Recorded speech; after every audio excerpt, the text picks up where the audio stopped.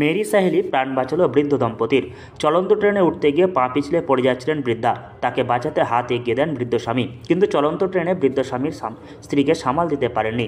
অল্পের জন্য বৃদ্ধা পড়ে যাচ্ছিলেন ট্রেনের নিচে। প্ল্যাটফর্ম ও ট্রেনের মধ্যে থাকা সামান্য ফাঁকায় প্রায় ঢুকেই যাচ্ছিলেন। সেই মুহূর্তে বৃদ্ধাকে উদ্ধার করতে এগিয়ে আসেন সেখানে কর্তব্যরত মহিলা আরপিএফ কনস্টেবল সুলতা মণ্ডল। বৃদ্ধার হাত ধরে ট্রেনে উদ্ধার করে রক্ষা করেন। নিজের উপস্থিত বুদ্ধি কাজে লাগিয়ে তিনি বৃদ্ধ দম্পতিকে উদ্ধার করেন। সিসিটিভি ক্যামেরায় ধরা পড়েছে সম্পূর্ণ ঘটনা। বৃহস্পতিবার দুপুরে মালদহ টাউন স্টেশনের চার নম্বর প্ল্যাটফর্মে এমন ঘটনা ঘটে যায়। পরে ওই বৃদ্ধ দম্পতিকে সুস্থভাবে ট্রেনে ওঠানোর ব্যবস্থা করা হয় রেল পুলিশের পক্ষ থেকে।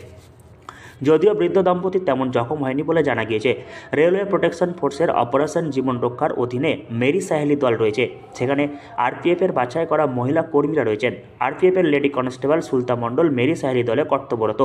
আপ কাঞ্চনজঙ্ঘা এক্সপ্রেস ট্রেনটি মালদা রেলওয়ে স্টেশনের চার নম্বর প্ল্যাটফর্মে দাঁড়িয়ে ছিল। সেখানে কর্তব্যরত ছিলেন ওই মহিলা কনস্টেবল। ট্রেনটি ছেড়ে দেওয়ার মুহূর্তে এক বৃদ্ধ দম্পতি তাড়াহুড়ো করে ধীর গতিতে চলমান ট্রেনে ওঠার চেষ্টা করেন। কিন্তু হঠাৎ বৃদ্ধ মহিলা যাত্রী প্ল্যাটফর্মে পিছলে পড়ে যান।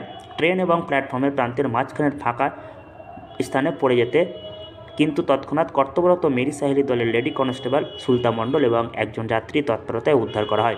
ঘটনাকে কেন্দ্র করে এদিন ব্যাপক চাঞ্চল্য ছড়িয়ে পড়ে মালদহ টাউন স্টেশনে। পরবর্তীতে ওই বৃদ্ধ দম্পতির যাত্রীকে ট্রেনে ওঠানোর ব্যবস্থা করা হয়।